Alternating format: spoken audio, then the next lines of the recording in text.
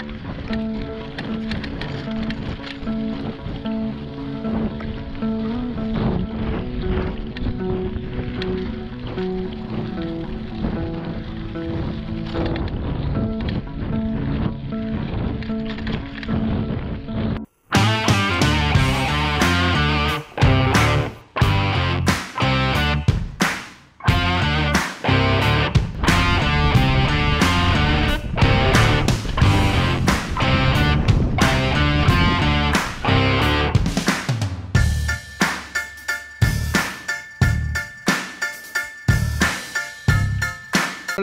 bienvenidos a este nuevo vídeo para el canal de YouTube.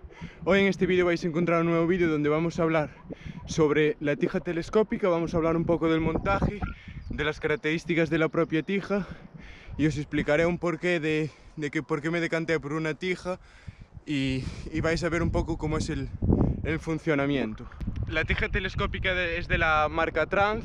eh, esta marca, bueno, fabrica para, para otras muchas marcas, pero la venden con, con diferentes nombres. Pero bueno, el mecanismo y, y la tija es la misma, solo cambia el nombre. Es de 100 milímetros de recorrido, es válida para 31,6, pesa 500 gramos, no es de la más ligera, pero bueno, eh, ese es el peso, es de cableado interno y llevamos el mando eh, integrado ya en el, en el manillar gracias a que es compatible con, con los frenos Shimano. La longitud de, de toda la tija no es muy, muy grande, anda sobre los 350 milímetros. De hecho, eh, el mínimo que marca el fabricante para meter dentro del cuadro me queda perfecto. Eh, estas tijas al no tener mucho recorrido, a ver, las hay de menos y demás, pero yo me decanté así por, por este para, para XTO, para bajar mejor, pero bueno, hay, para- hay de 80, 70, 50, hay de 130, 150 y bueno, eso también hay que mirar pues y, lo, que vos coge dentro de, de vuestro caso, de vuestro cuadro.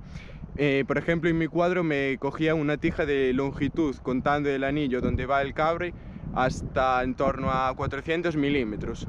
Pero bueno, este es de 350, el funcionamiento es mediante cableado mecánico, también los hay de, de cableado, bueno, de- los hay de hidráulicas. Y un apunte por último que ya se me olvidaba, lo bueno que tiene esta tija, que en los 100 milímetros de recorrido no tienes una posición fija, es decir, o puede estar arriba de todo o abajo de todo, no, en esta tija sí que se puede poner en posiciones intermedias, pues si la quieres, si no la quieres subida de todo, al final eh, deja poner posiciones intermedias. Al principio pensaba que no, pero según fue el pasando el uso y eso, sí que deja poner posiciones intermedias y no deja pues solo abajo de todo o solo arriba de todo.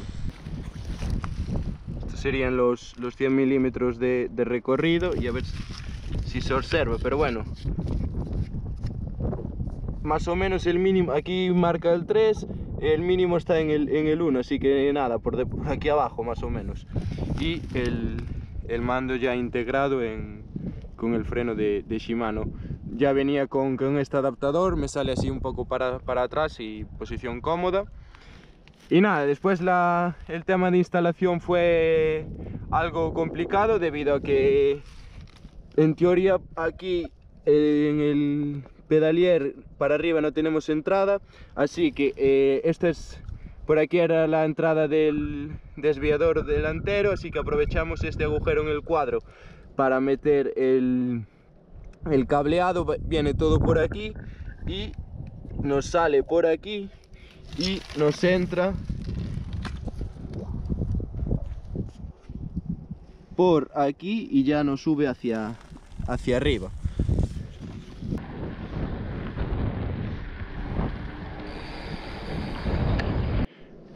Y el funcionamiento de, de la tija consiste, tenemos aquí el pulsador, ahora mismo la tenemos bajada, si pulsamos pues se sube.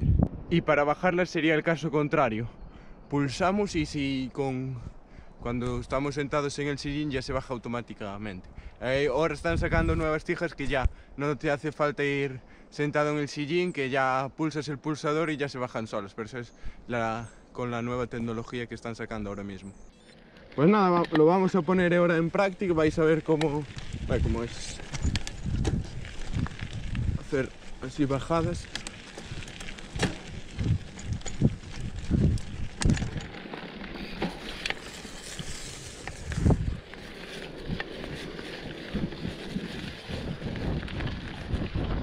De momento la elevamos levantada, llegamos al objetivo, bajamos y nada. Culo atrás. Y por ejemplo, en esta bajada antes que te rozaba, no te dejaba para echar culo atrás, ahora ya con la tija bajada tenemos la libertad sobre la rueda para, para echarnos hacia atrás.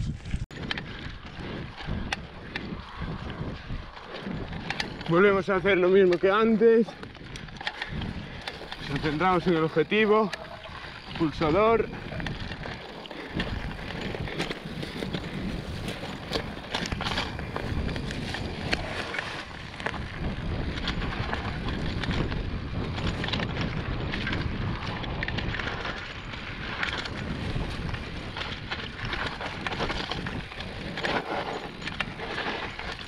Tenemos libertad de movimiento atrás lo que nos permite culo atrás también nos permite curvear mejor.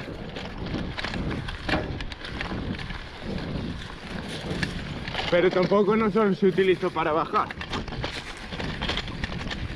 Aquí tenemos un pequeño draw. También. Movimiento atrás que nos permite pasarlo mejor.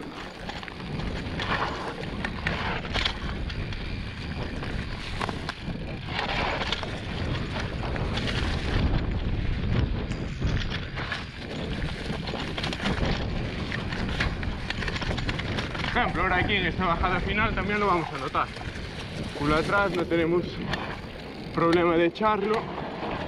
También lo que nos permite hacer una buena salida.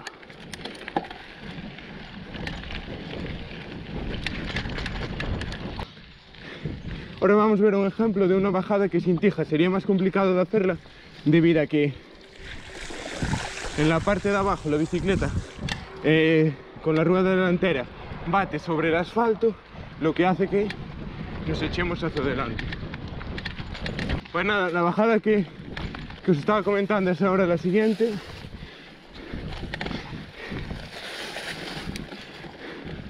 Ya vamos a bajar ahora aquí la tija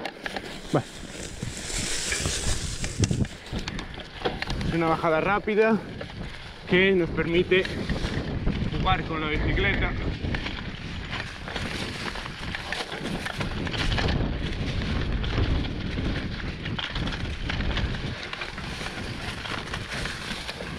Llegamos al objetivo que es la bajada final.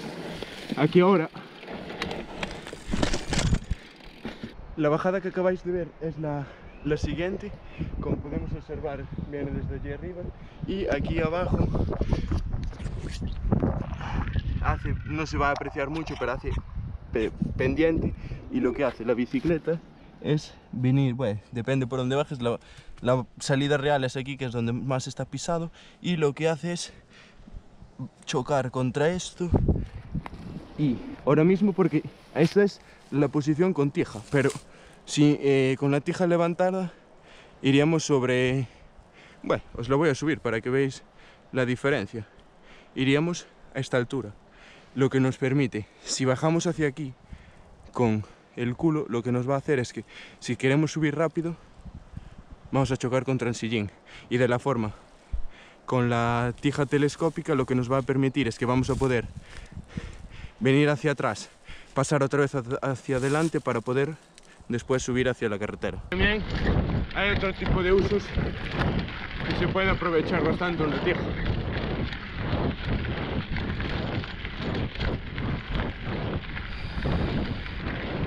Por ejemplo, en saltos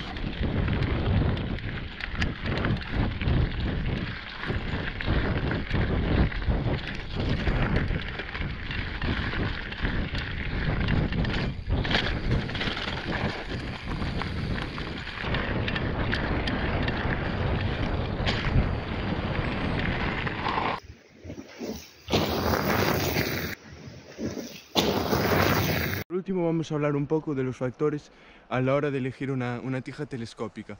Eh, el primer factor es el presupuesto del que dispongáis para gastar en, en esta tija. Después un poco pues eh, la longitud eh, interna para pues elegir la, la tija, la modalidad de ciclismo que hagáis, no vais a comprar una tija de 100 milímetros si hacéis enduro o una de 170 y hacéis XCO.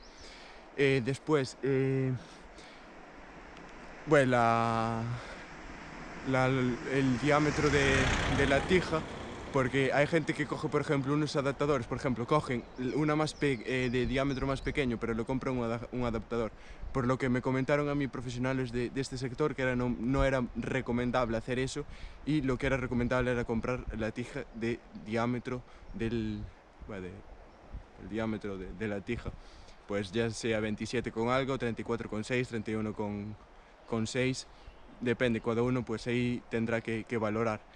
Y también por último valorar el tipo de tija que queréis, ya sea externa o interna, si tiene pues para cablear todo por internamente pues me decantaría por una interna y si no pues o, o hacéis como, como, hice, como hice yo o si no pues una externa. Yo por ejemplo me costó bastante porque no tenía pues las herramientas suficientes para, para, cablear internamente, pero al final conseguí meter pues la, el cable y, la funda todo por dentro, así pues no me va a dar problemas más si tengo que cambiar el cable que ya es, se hace en, nada.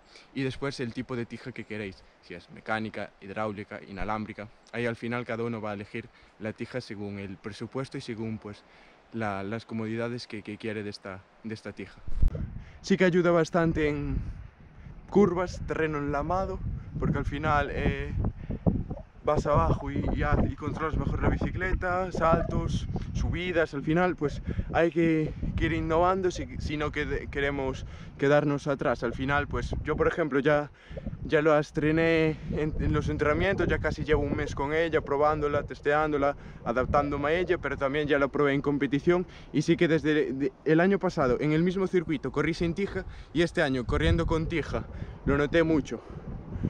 Y y nada más, hasta aquí el, el vídeo de hoy, de esta nueva incorporación a, a, la, a la, Trek y, y, nos vemos por, por el canal.